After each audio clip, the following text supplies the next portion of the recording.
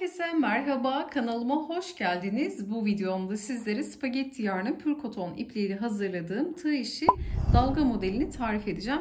Şöyle modeli yakından sizlere göstermek istiyorum. Ben böyle 3 renkli olarak çalıştım. Sizler isterseniz tek renk olarak da çalışabilirsiniz ya da 2 renkli olarak da çalışabilirsiniz. Diğer kısmı bakın bu şekilde iki taraflı da kullanılabilecek bir örnek. İsterseniz bu tarafını İsterseniz bu tarafını da kullanabilirsiniz. Tamamen zevkinize kalmış. Bu çalışma e, oldukça kolay bir örnek. İki sıradan oluşuyor. Bir sıra kafes, bir sıra trabzan şeklinde çok keyifli ilerleyen bir örnek. E, o kadar kolay ki örgü ilk kez başlayanlar bile eminim ki bunu çok rahatlıkla yapabilirler. Bununla neler yapabiliriz? Battaniyeler, kırlentler, yelekler, hırkalar, e, koltuk şalları, etor şallar yapabilirsiniz. Aklımıza gelebilecek birçok yerde kullanabileceğimiz çok şık bir örneği istediğiniz kenar süslemesiyle de örneğin uzun şallar yaparak püsküller takabilirsiniz ya da daha farklı kenar süslemeleri yaparak da böyle güzel bir e, çalışma hazırlayabilirsiniz. Ben çalışırken çok keyif aldım. Umarım sizler de beğenir ve denersiniz. Detaylı tarifimize geçmeden önce sizlerden küçük de bir ricada bulunmak istiyorum. Kanalımıza ücretsiz abone olabilir, videoyu beğenir ve yorumlarınızı eksik etmezseniz gerçekten çok mutlu olurum. Tarifimize geçelim. Modelimi tarif etmek için spagetti yarnı pür koton ipliğini kullandım. Dokusu yakında bu şekilde tığ numaramda 3 milim olacak. Sizler kendi ipinizin inceliğine kalınlığına göre örmenizin sıkılığına gevşekliğine göre kendi tığ numaranızı belirleyebilirsiniz. İşe ilk olarak zincirle başlangıç yapıyoruz. Burada ilk zincirimizi kilit yaptıktan sonra mutlaka ördüğümüz ayardan bir tık gevşek olacak şekilde başlangıç zincirlerimizi hazırlıyoruz. Çalışmış olduğumuz model dalgalı bir model olduğu için biraz da e, fazla fazla çekmek gerekiyor zincirleri çünkü toplama da yapacak. Bunu da dahil etmek gerekiyor işin içerisine. Bir de mutlaka yapacağınız ölçüden yaklaşık bir 15-20 santim zincirlerinizi fazla çekin. Artan zinciriniz olursa sonradan keserek ya da sökerek çıkartabilirsiniz. Eksik olmasın. Fazla olursa telafi edebilirsiniz. Şimdi burada küçük bir örnek tarif edeceğim için göz kararı zincirlerimi yeteri kadar çektim. Burada zincir saymakla hiç uğraşmıyoruz. Modeli direkt şimdi kuracağız. Burada bakın son zincirden sonra hemen bir diğer zincirin içerisine direkt batıyorum. İlmek çıkardım. 2 ilmeğim var. Sık iğne örüyorum. Sonra bir iki zincir çekiyorum. Başlangıçtaki bir sık iğne ve bir zincir bana bir tane trabzanı veriyor. Şu bir zincirde şimdi oluşturacağımız bir zincirlik boşlukları verecek. Direkt doluyorum. Alt kısımda bir tane zincir atlayarak bir diğer zincirin içerisine batarak ilmek çıkarıyorum. 3 ilmeğim var doladım. İkisini birlikte ikisini birlikte örerek burada hemen ilk kutumu bu şekilde oluşturmuş oluyorum. Yani şu kısım bir trabzan bir zincir trabzanın ilk kutuyu oluşturduk. Tekrar bir zincir doluyorum. Alt kısımda bir tane zincir bırakarak bir diğer zincirin içerisine batıyorum. ilmek çıkardım. İkili trabzan örüyorum. Bir zincir doluyorum. Bir zincir bırakarak bir diğer zincirin içerisine batarak ilmek çıkarıp ikili trabzan oluşturuyorum. Bakın bu şekilde kutucuklarımı hazırlıyorum. Şimdi burada önemli olan kutu sayısı. Bir zincir, bir zincir bırakıp bir diğer zincire batarak ikili trabzan. Şimdi başlarken zincir saymakla hiç uğraşmadık ama şimdi burada kutu sırasında modelimiz 4 tane kutunun katlarından oluşuyor. Yani 4 artı 4 artı şeklinde kutularımızı hazırlamamız gerekiyor. Bakın 1, 2, 3, 4 bu şekilde boşlukları sayarak dördün katları şeklinde kutularımızı ilk etapta hazırlıyoruz. Şimdi burada toplamda 12 tane kutumu hazırladım. 4 artı 4 artı şeklinde Bakın 12 adet kutu hazırladım. Dördün katları şeklinde kutumuzu hazırlayarak modelimizi oluşturacağız. Şimdi son trabzanı yaptıktan sonra bakın böyle artan zinciriniz olursa keserek ya da sökerek de çıkartabilirsiniz. Eğer ipinizin israf olmasını istemiyorsanız eğer hemen şu uçtan başlayarak söküp kısa bir ip bırakıp burada kilit yaptıktan sonra artık buradaki çıkartmış olduğunuz ipi de sonradan kullanabilirsiniz. Eğer çok fazla artmışsa ipiniz. Şimdi bu noktada son trabzandan sonra 1, 2, 3 zincir çekip örgümüzü çeviriyoruz. Şimdi tığımın başına dolayarak gelen ilk boşluğa bakın. Trabzanın boşluğuna batarak ilmek çıkarıyorum. 3 ilmeğim var. İkili trabzan örüyorum. İkisini birlikte, ikisini birlikte doladım. Aynı boşluğa burada 3 tane ikili trabzan öreceğim. İkisini birlikte, ikisini birlikte. Şimdi 3. trabzanı örüyorum. Bakın bu zincirle beraber 1, 2, 3, 4 tane trabzanı oluşturmuş olduk. Doluyorum. Şimdi burada bir zincirlik boşluğumuz var. Bakın bir zincirlik boşluğa batıyoruz. İlmek çıkardık, doladık. İlk iki ilmeği alıyoruz. Diğer ilmekleri tığda bekletiyoruz. Doladık. Şimdi gelen trabzanın tepesine batarak ilmek çıkarıyoruz. İlk iki ilmeği alarak diğer ilmeği bekletiyoruz. Doladık. Şimdi tekrar bir zincirlik boşluğa batıyoruz. ilmek çıkardık. İlk iki ilmeği alıyoruz. Şimdi bu şekilde 7 kez batacağız.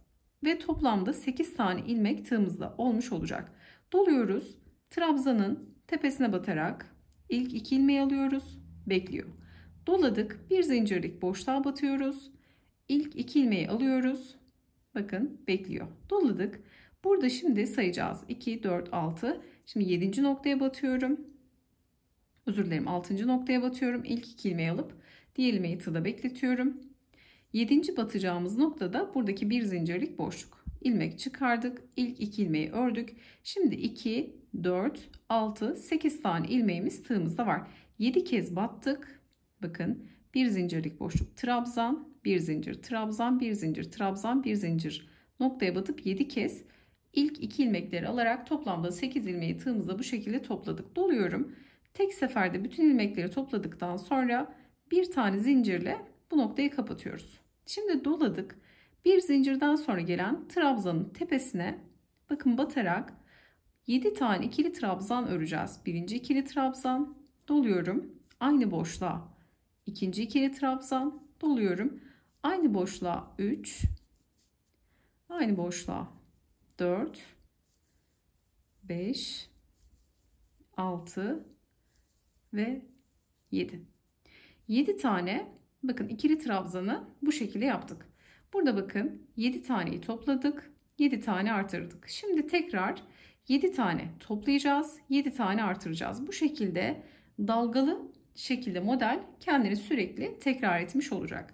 Şimdi bakın artırma noktasından sonra doluyoruz. Bir zincirlik aynı burada başladığımız mantık gibi. Köşede 4 tane trabzanla başladık. Bitiş ve başlangıçlar yarım model olacak. Ortada her defasında tam model olacak. Şimdi 7 tane artırma trabzanından sonra doluyoruz. Bir zincirlik boşluğa batarak ilmek çıkarıp ilk iki ilmeği örüyoruz. Diğer ilmek bekliyor. Doladık. Şimdi trabzanın tepesine batıyoruz. İkinci kez ilk iki ilmeği örüyoruz. Bu şekilde 3 Şimdi trabzanın tepesi 4 bir zincirlik boşluk 5 trabzanın tepesi 6 bir zincirlik boşluk 7 7 kez battık ve 2 4 6 8 tane ilmeği bu şekilde tığda biriktirmiş olduk. Doluyoruz. Şimdi bütün ilmek, ilmekleri tek seferde topladık. Bir zincirle bu noktayı kapattık. Doluyoruz. Bir zincirden sonra gelen hemen trabzanın tepesine batarak 7 tane artırmayı yapıyoruz. Yani 7 tane trabzan örüyoruz bu noktaya. 2 3 4 5 6 ve 7. Bakın dalga oluşmuş oldu. Topluyoruz, artırıyoruz, topluyoruz, artırıyoruz. Bu şekilde devam ediyor. Şimdi 2, 4, 6, 7 tane trabzan ördük. Doluyoruz. Hemen gelen bir zincirlik boşluğa batıp yine ilk iki ilmekleri toplayarak bir zincir trabzan, bir zincir trabzan boşluklarına batarak ilk iki ilmekleri topluyoruz. Toplam 7 kez bu şekilde batıp 8 tane ilmeği tığda toplamış olacağız. Bakın doladık. Şimdi burada 2, 4, 6, 2, 4, 6, 7 ilmek var. Doladım. Şuradaki ilk kutuya da batıp 7. ilmeğimi e, özür dilerim 8. ilmeği oluşturmuş oldum. 2, 4, 6, 8 ve 7 kez de batmış oldum. Doluyorum. Tek seferde topladım. Bir zincirle kapatmayı yaptım. Şimdi bakın yarım olan başlangıcı yapacağız. Burada 4 tane trabzan örmüştük. Şimdi doluyorum. Burada sık iğne bir zincir vardı. Bu sık iğne ve bir zincir bana bir tane trabzanı veriyordu. Şimdi bu bir zincirin içerisine batarak 4 tane ikili trabzan öreceğim. 1 2 3 ve 4. Bakın 4 tane trabzanla son kısımdaki yarım dalgayı da yapmış oldum. Şöyle göstermek istiyorum bakın modeli net olarak. Tersten daha güzel duruyor sanki bakın. Trabzanın ters olduğu noktada daha belirgin. Şimdi burada başta ve sonda yarım model, ortada tam modelleri yaptık. Şimdi eğer aynı renkle devam edecekseniz eğer yine 4 zincirle başlangıcınızı yapabilirsiniz. Ee, burada devam etmek istiyorsanız eğer. Ama şimdi burada ben daha model anlaşılır olduğu için farklı bir renge geçiş yapacağım. Burada hemen nasıl geçiş yapıyoruz bunu paylaşalım. Şimdi bu aşamada renk değişikliği yapacağım için son trabzandan sonra bir tane zincir çekip Burada ipimi yeteri kadar keseceğim. Sonra bu ipi gizleyeceğim. Bakın bir zincirden sonra ipimi şöyle sıkılayarak burada bırakıyorum. Şimdi farklı bir renge geçiş yapıyorum. Bir diğer rengimi alarak bir zincirle bir ilmek oluşturuyorum. Şöyle birazcık da kısayıp bırakın ki gizlemesi rahat olsun. Bir zincirle bir ilmek oluşturduktan sonra tığımın başına doluyorum. Şimdi model burada bitti. Ters çeviriyoruz. Bakın. Gelen ilk yani şuradaki boşluğa son ördüğümüz trabzanın tepesine direkt batıyoruz. ilmek çıkardık. İkili trabzanla başlangıç yapıyoruz. İkisini birlikte doladık. İkisini birlikte. Bir zincir çekiyoruz trabzandan sonra doluyoruz. Bu aşamada bir boşluk bırakıp bir diğerine batarak ilmek çıkarıp ikili trabzan örüyoruz. Şimdi kutu sırasındayız. Birebir yine dördün katları şeklinde ne kadar başlangıçta kutu yapmışsak bu sırada da kutumuzu aynı şekilde yapacağız. Bir diğer trabzan sırası aynı şekilde olacak. Sadece burada bir püf noktası var. Bunu sizlere göstermek istiyorum. Şimdi tekrar bir zincir çekip doluyorum. Burada bakın şimdi tekrar bir tane boşluk bırakıyoruz. Şimdi toplama yaptığımız noktanın tam orta kısmına batarak ilmek çıkartıp ikili trabzan örüyoruz. Tekrar bir zincir çekiyoruz. Şimdi şu noktada bakın şu bizi yanıltmasın. Topladığımız noktanın tepe kısmı şöyle bakın başak şeklinde duruyor. Bu kısmı görmeyeceğiz. Bakın şunu boşluk olarak kabul etmiyoruz. Bir zincirden sonra doluyorum yine. Hep bir zincir trabzan şeklinde ilerleyecek. Burada tek püf nokta bakın şu topladığımız noktanın ortasına battıktan sonra şuradaki boşluğu trabzan boşluğu olarak kabul etmeyeceğiz. Bakın bunu saymıyoruz. Burada 7 tane ikili trabzanımız var. Bakın 1, 2, 3, 4, 5, 6, 7 tane trabzan var. 7 trabzanın ilkini atlayıp ikincisine batarak ikili trabzan örüyoruz. Tek püf nokta bakın burada bu kutuları oluştururken şu topladığımız trabzanların tam ortasına battığımızda şu boşluğu görmeyeceğiz bakın. Önemli bir püf nokta bu. Bunu elinize aldığınız zaman çok rahatlıkla göreceksiniz bu aşamayı. Sonra bir zincir doluyorum. Bir boşluk bırakıp bir diğerine batarak ikili trabzan, bir zincir doluyorum. Bir boşluk bırakıp bir diğerine ikili trabzan örüyorum. Sonra tekrar bir zincir doluyorum. Bakın yine bir boşluk bırakmış oluyoruz ve geliyoruz topladığımız noktanın tam orta kısmına. Bu orta kısma direkt batarak ikili trabzan örüyoruz. Tekrar bir zincir. Bakın şu kısmı görmeyeceğiz. Buradaki 7 tane trabzanın ilkini atlayarak ikincisine batıp ikili trabzan örerek kutuları oluşturmaya devam edeceğiz. Bakın buradaki yaptığımız işlemin birebir aynısı. Bir zincir, bir boşluk bırakıp bir diğerine ikili trabzan, bir zincir, bir boşluk bırakıp bir diğerine ikili trabzan. Bir zincir, hemen bir boşluk. Bu da artık topladığımız noktaya geliyor. Tam orta noktası. Bakın batıp bu şekilde örüyoruz. Şimdi yine şu kısmı görmüyoruz. Burada 4 trabzan kaldı. İlkini bırakıp ikincisine batıyoruz. İkili trabzan. Bir zincir doluyorum. Şimdi burada bir trabzan bırakıyoruz. 3 zincirimiz vardı. Üçüncü zincirin içerisine batarak burada ikili trabzanı örüyoruz. Şimdi yukarı çıkıp modelimizi oluşturacağız. Bakın kafes sırasını oluşturduk. Model iki sıradan oluşuyor. Bir sıra kafes, bir sıra trabzan, bir sıra kafes, bir sıra trabzan şeklinde. Şimdi yukarı çıkarken yine aynı teknik. 3 zincirle örgümüzü çeviriyoruz. Köşelerde yarım trabzanlar vardı, dalgalar. Hemen gelen ilk boşluğa 3 tane ikili trabzan örerek zincirle beraber 4 tane ikili trabzan noktasını oluşturmuş oluyoruz. 2 3 bakın yarım dalgayı oluşturduk. Doluyorum. Bakın birebir aynı başlangıç. Hemen bir zincirlik boşluğa batarak ilk iki ilmekleri örüyorum. Trabzanın tepesine batıp ilk iki ilmeği örüyorum. Şimdi ikinci sırada yaptığımız işlemi birebir burada tekrar etmiş oluyoruz. Yine 8 tane ilmek toplayacağım ve 7 kez batacağım. 2, 4, 6, 7 ve bu da 8 tane ilmeğim oldu.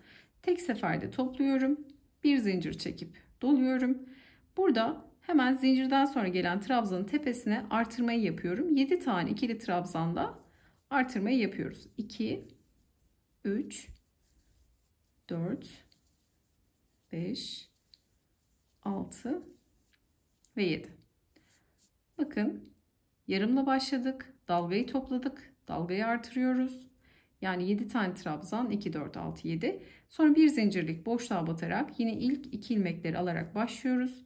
Bir trabzan tepesi, bir zincirlik boşluk şeklinde 7 kez batarak toplamda 8 tane ilmeği elde etmiş oluyoruz. Bir zaman sonra gözünüz alışıyor. Saymak bile gerek duymayacaksınız. 2 4 6 8. tek seferde topladık. Bir zincirle kapattık. Zincirden sonra gelen trabzana da 7 tane ikili trabzan örerek bakın sıra sonuna kadar yaklaşalım. Çok keyifli ilerliyor. Çok da basit bir mantığı var. Kavradıktan sonra çok rahatlıkla yapabilirsiniz. 2, 4, 6 ve 7. Artırmadan sonra tekrar bir zincire batıp 7 kez batarak 8 tane ilmeğimizi tığımızda topluyoruz. Bakın buradaki son nokta trabzanın tepesi ve bir zincirlik boşluk en sonda da bir tane trabzanın kalması gerekiyor. Yine 2, 4, 6, 8 ilmeğimizi tek seferde topladık. Bir zincirle kilit yaptık. Doluyoruz. Son trabzanın tepesine batarak 4 tane ikili trabzanlı örgümüzü tamamlıyoruz. 1 2 3 ve 4. 4 tane trabzandan sonra bir zincir çekip ipi koparttım. İsterseniz sizler farklı bağlamalar biliyorsanız onları da yapabilirsiniz ama bu, bu yöntem bana rahat geliyor. Sonra bakın şu bir e, zincir çekip bıraktığımız ipi şöyle ara noktadan geçiriyorum. Hemen şöyle gizlemeyi de göstermiş olayım. İpleri de rengine göre gizliyoruz. Trabzanların arka geniş boşlukları e, rahat batıldığı için bu noktalara tığla hemen şöyle zaten bir zincirle sabitlediğimiz için hemen şöyle gizlemiş olacağız. Çok rahat da iplerinizi gizleyebilirsiniz bakın. Rengine göre ipi de gizlediğiniz zaman model çok keyifli bitmiş olacaktır. Bakın dalga örneğimizi de bu şekilde tamamlamış olduk. İki türlü de kullanılabilir. İster bu tarafı ister bu tarafı. Tekrar ipi kopartıp yeni renge burada tarif etmiş olduğum gibi geçebilir. Rengarenk ya da isterseniz tek renkte çalışabilirsiniz. Tarifimiz bu şekildeydi. Umarım sizler de beğenir ve denersiniz. Yapacak olanlara şimdiden kolaylıklar diliyorum. Videomuzu beğenmeyi, yorum bırakmayı, kanalımıza abone olmayı unutmayın. Bir sonraki videoda görüşünceye dek hoşçakalın.